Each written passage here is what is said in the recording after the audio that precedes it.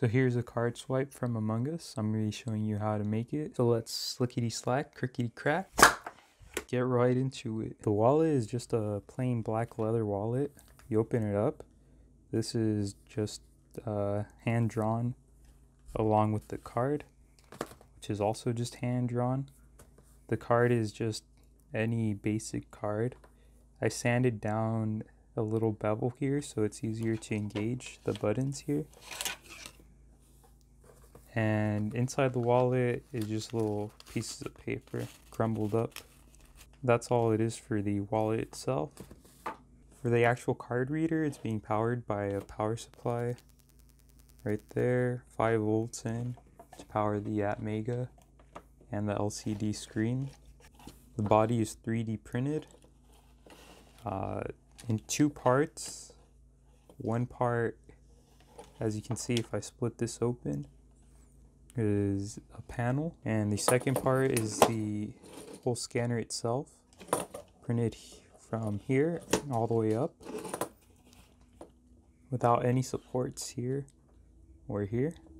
I melted some holes to put some tactile buttons here in order to read if a card is placed. So getting a little bit closer you can see how just melted everything is together.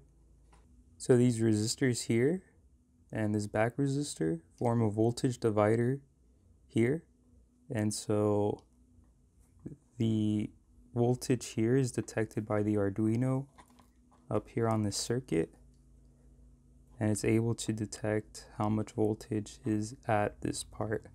Here's a circuit to detect the card and so we have two buttons, button 1 and button 2 and analog pin 4 reading the voltage at this point here. If no button is connected, then it will read a voltage of zero since it's connected down to ground. When the first button is pressed, 5 volts is able to flow through this resistor of 5k, 5000, and it connects to the 2000 ohm resistor down to ground, but will not flow through the 5k resistor.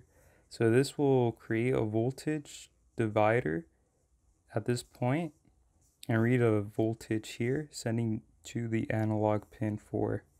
When both buttons are pressed, then both of these resistors are connected to ground, creating a different divided voltage. Since these two are connected in parallel, then the actual resistance here, first resistor times the second resistor over the first resistor plus the second resistor. So it'd be 10k squared since 5k and 2k. Cancel out the k. And you're left with 1.4 thousand ohms. And so the new resistance when both buttons are pressed will be 1.4k ohms.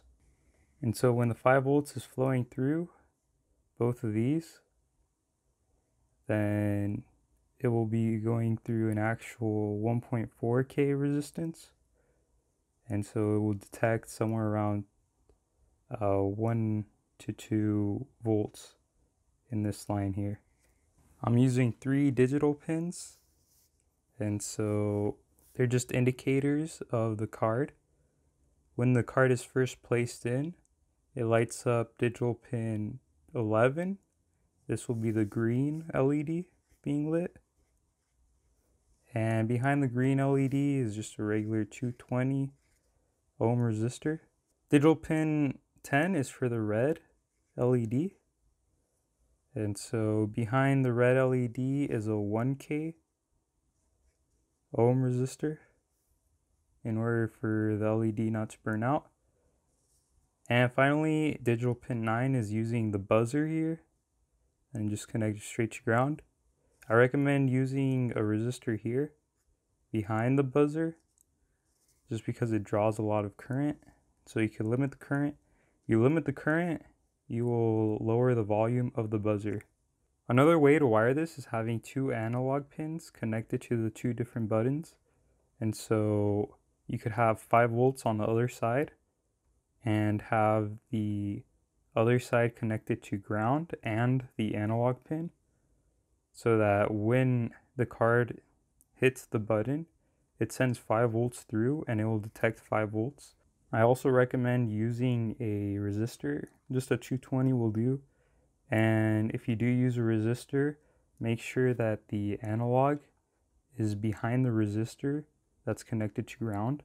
If the analog pin is connected after the resistor, it will always detect zero volts going through since it's connected straight to ground and not behind the resistor. The reason is because voltage flows through the resistor and if you only have one resistor connected, then all of the voltage will be running through the resistor and after will just show a voltage of zero. But if you check behind the resistor, you'll see how much voltage is being supplied. The reason why I didn't have two different analog pins is just so I could try this out, see if I could figure out a clever way of only using one analog pin and having different voltages through the use of parallel resistors and a voltage divider. One drawback is once the card is at this position here, it will automatically detect zero volts since all voltage will be cut off from this button. So that means the card will only be here once it's finished scanning instead of over here. The LCD circuit itself I went over in the MedBay scan video that I made. This is a blue backlit LCD and they sell green and yellow backlit LCDs. This blue one is the only one I had, but the green and yellow one will probably look closer to the original.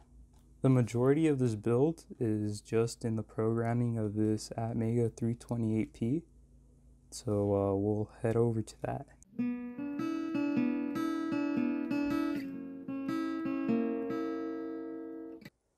Alright, so here's the code and start it off with. It's only using the liquid crystal library and here is the initiation of the LCD. I've changed it up just for my own circuit that I made, but uh, I'll link a video on LCD displays with Arduino in the description down below. Uh, next up is the red LED which is hooked up to pin number 10. After red is green on digital pin 11. And finally, there's a buzzer on digital pin 9. There's two true or false variables called fail or pass, and they're both set to false. And now to the void setup is the LCD begin 16 comma 2. 16 is the total amount of characters on each line and two initiates both segments since it's a 16 by 2 LCD. Uh, one only one is necessary for the scanner, so this could be changed to one. Next is the declaration of the three digital pins. They're all set to output. Right here, just calling digital pin number 10 as red. So if you needed to change the digital pin, then you just have to change it here based on what digital pin you're changing to. Also the same for green and for the buzzer. And after that, it will print please insert card on the LCD display. Now in the loop, it's going to constantly do a delay of 100. After every delay, it's going to check the analog pin number 4 declared as A4 and using an analog read declaring a variable int reading so just an integer. And once declaring reading we can use it throughout the code. Next there's a if statement so that if the reading is greater than 950 or less than 1000 then it will clear the LCD and print please swipe card. What this means is that if the first button is pressed and the analog pin number 4 is reading a voltage between these variables, if you use the same exact resistors that I use, then you can just use this variable here. If you use different resistor values, then you'll have to figure out what exactly it will be reading. So right here in the next statement is a while statement and it has the same as before but this time it will continuously run the whole code in the while statement here so that if the card is taken out then it will start back up here in the loop and keep going through until it detects the first button being pressed again. At first I had if it if reading was not equal to zero but you run the problem of getting this statement here, which will turn on the green LED when it shouldn't be turned on. Using this statement instead should prevent this. I don't see any issues, but if there are any issues, then just use not equal to zero. So in the while statement is an if statement saying if fail is equal to false, then the green LED will turn on, meaning that when you first put in the card, the LED should turn on, the green LED should turn on. But if you fail once, then it will not turn on again. This right here will reset the pass to false. This is just in case you completed it once and you try it again. It doesn't get caught as being true. So it's just a reset if you do happen to pass the swipe. After that, it will check the analog pin 4. And if the reading is between 450 and 500, meaning that the both buttons are pressed, then it will write the green LED as low, meaning turning it off, and also turn off the red LED. And this will initiate the card swipe. So after all LEDs are off, then it will go into a for statement. It declares a variable here. While i is less than 3, it will run the code. Once i equals 3, it will not run the code. It will just skip the code. Every time the code is run, it will add 1 to i. It will run it a total of 3 times so the first time I will be zero, it will run. Second time it will be one, it will run. And third time it will be two, and it will run. And after the third time, it will equal three. And so it won't run, it'll just skip it. And the actual for statement is a delay of 100. And this is 100 milliseconds. After that, it will read the analog pin again and if the reading is zero, which means that only the second button is pressed, then it will go into the statement saying that red will be turned on, the LED, the buzzer will turn on, the LCD will clear, it will print too fast, try again, and after a delay of 500 for the buzzer, making the beeping sound, it will then turn off the buzzer. It will mark fail as true and it will break.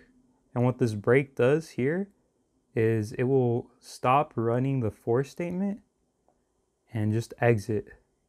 This if statement here will only be run if the card is not swiped too fast. We have again checking the analog pin and if the reading is equal to zero then the green will turn on, the buzzer will turn on the LCD will clear, accepted thank you, a delay of 100 for a quick buzzer noise to turn on and off, and then turn on and off one more time. After that, fail will equal false and pass will equal true.